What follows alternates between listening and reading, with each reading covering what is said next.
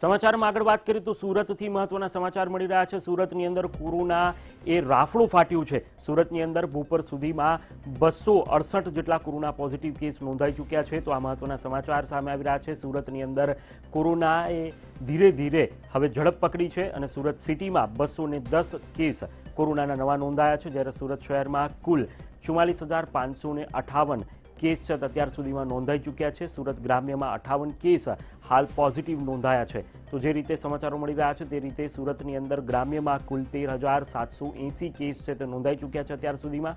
જ્યારે સુરત સિટી અને ગ્રામ્ય મળીને અઠાવન હજાર ત્રણસો આડત્રીસ કેસ છે, તે નોંધાઈ ચૂક્યા છે.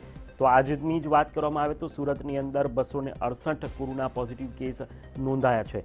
તો જે રીતે સમગ્ર રાજ્યની અંદર કોરોનાએ ભરડામાં લીધું છે રાજ્યને અને કાળો કહેર વર્તાવી રહ્યું છે ત્યારે સુરતની અંદર બસો ને અડસાઠ કેસ માત્ર આજે બપોર સુધીમાં, એટલે કે રવિવારે બપોર સુધીમાં જ બસો ને અડસાઠ કોરોનાના નવા કેસ નોંધાયા છે.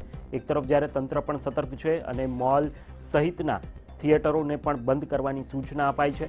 શનિ, રવિ વીકેન્ડ કરફ્યુ જેવી સ્થિતિ જોવા મળી રહી છે. તેવાની અંદર, સુરતની અંદર સતત કેસ વધી રહ્યા છે.